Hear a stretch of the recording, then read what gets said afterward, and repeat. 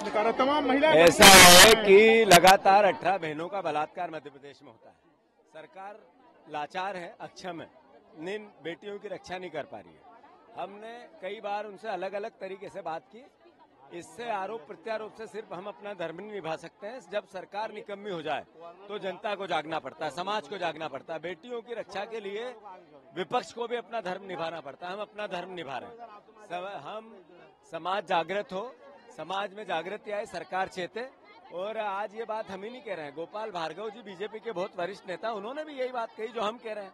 तो मैं मानता हूँ कि हमारी बात में उनने समर्थन किया इसका मतलब सरकार अक्षम है लाचार है और निकम्मी है। बड़ी संख्या महिलाएँ हैं क्या दर्शा रहा है? पूरे प्रदेश में आज महिलाएँ जन जागृति के लिए आज माता जी के जागरण के साथ ये जन जागरण कर रही है। अगला स्टैंड क्या होगा सर? हम लगातार प्रोटेस्ट करते रहेंगे जब तक सरकार नहीं जागेगी।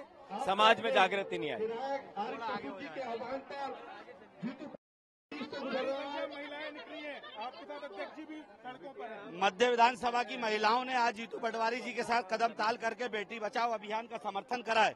और ये संदेश दिया है कि जो जीतू पटवारी जी ने बेटी बचाओ अभियान शुरू करा है वो इन सब के लिए हैं और हम सब इनके साथ अगला स्टैंड क्या होगा आप लोगों के सरकार को जगाने का लगातार प्रयास करेंगे। सरकार कह रही आप लोग झूठे आरोप लगा रहे राजनीति कर रहे आज छतरपुर में हुआ देख लें। कैंडल उचकल कर ले सभी बहनें कैंडल उचकल कर ले।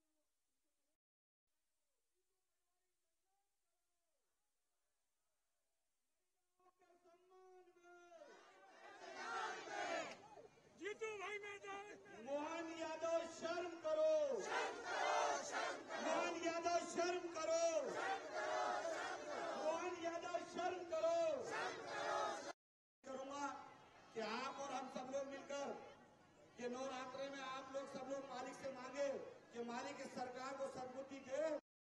करूँगा कि बेटियों के सम्मान में सारी बहनें मैदान में ठीक है? बेटियों के सम्मान में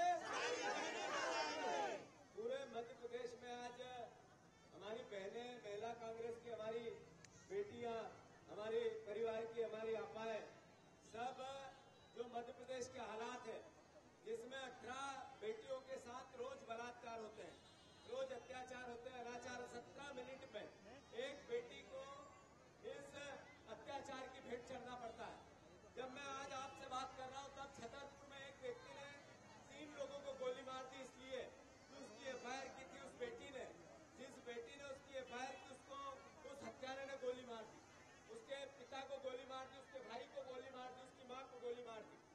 कैसा प्रदेश है।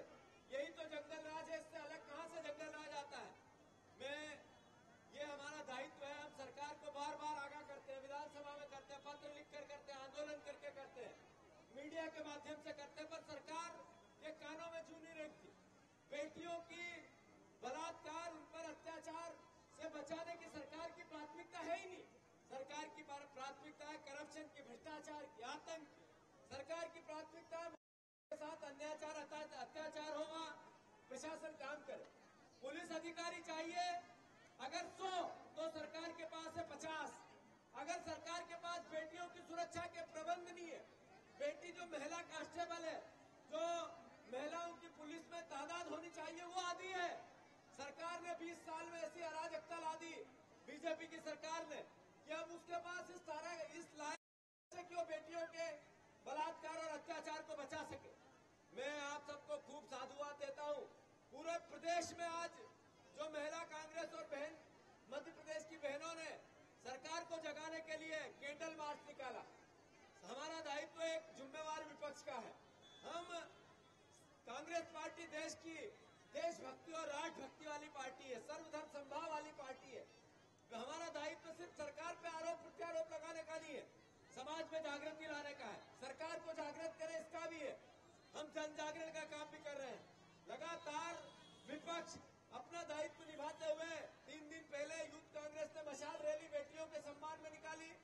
आज आप लोगों ने पूरे मध्य प्रदेश में कैंडल मार्च महिला कांग्रेस के नेतृत्व में यहाँ आरिफ मसूद जी और सारी हमारी बहनों के नेतृत्व में निकाला कल हम उपवास दो दिन बाद हम उपवास पूरे प्रदेश में करेंगे बेटियों का पाठ पाठ पूजन करेंगे उनकी सुरक्षा और दुआ करेंगे। उसके बाद भोपाल में हम उपवास करेंगे। और उसके बाद भी अगर अत्याचार, अनाचार समाप्त नहीं हुआ तो बेटियों के सम्मान में मध्य प्रदेश की जनता से आह्वान करेंगे कि एक दिन का मध्य प्रदेश बंद हो। मैं आप सबसे अनुरोध करता हूँ